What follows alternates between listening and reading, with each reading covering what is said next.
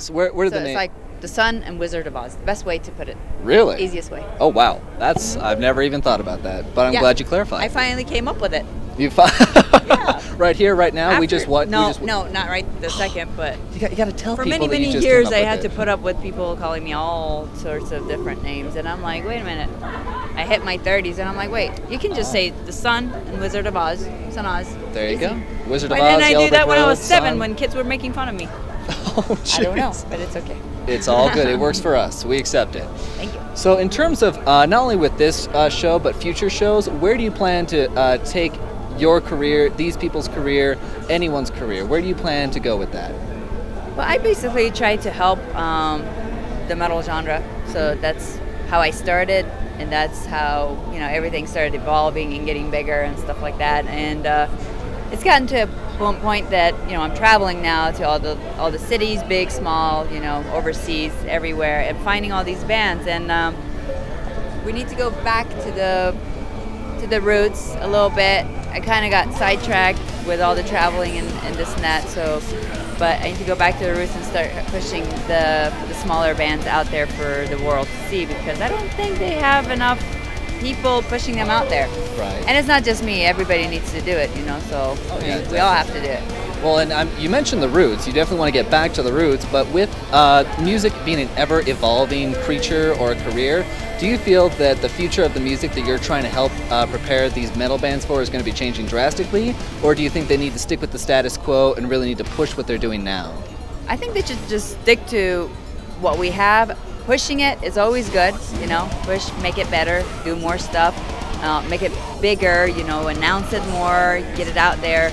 All that always obviously helps. But as far as like changing, I don't think it's needed or, or anything like that. We like our metal scene the way it is. I mean, any type of metal that anybody's into, they cut it up and slice it up so much into different genres of metal, but it's all basically metal to me. So, bottom line is just stick to what they're doing and they're just keep putting out something that hasn't been done. Stop, stop, you know, trying to copy somebody else or trying to sound like someone else. Right. I mean, it's good to have people that you know influence you, and you're like, wow, you know, that's quite kind of cool. But how about take that and make it better?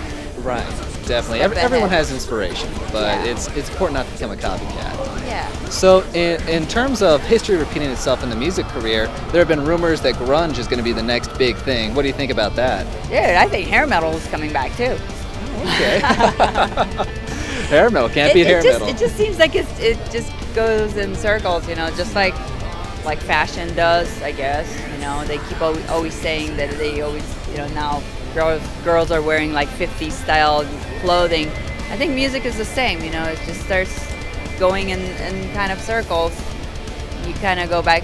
It would be nice to go back and find some bands that were like Led Zeppelin or Oh, you know yeah. things like that. Why not? You know, it'll be, it'll be amazing and it'll be like new stuff. Then Gotcha. I think they all should come back. Oh, I, I agree. That would be awesome. Yes. But you know, I think that the whole rotting corpses would kind of hurt their chances at performing live. But you never know. You just never know. yeah, you never know. So I guess that um, there are a thousand questions I'd like to ask you. Obviously, a thousand and one you've been asked before. But based on the local talent or the talent in your local scene, who do you think is going to be the next big thing?